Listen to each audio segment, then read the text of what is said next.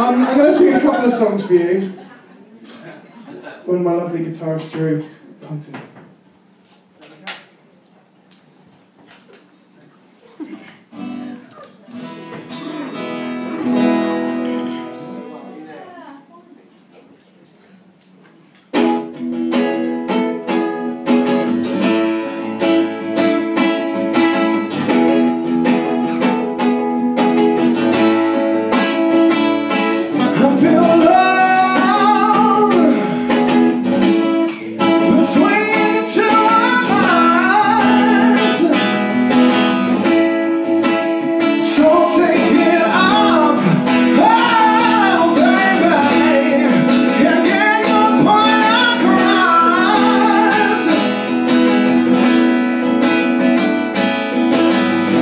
My